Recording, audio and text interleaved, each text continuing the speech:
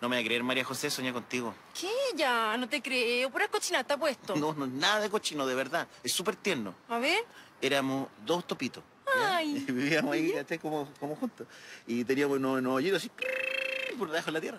Ay, qué lindo. Era bonito. Y un día se ponía a llover, eso sí, po, y a mí se me anegaba toda mi casa. ¿cachai? Y quedaba como un damnificado. Entonces me decía, vecino, venga acá, yo le presto el hoyo. po. Ah. Es verdad.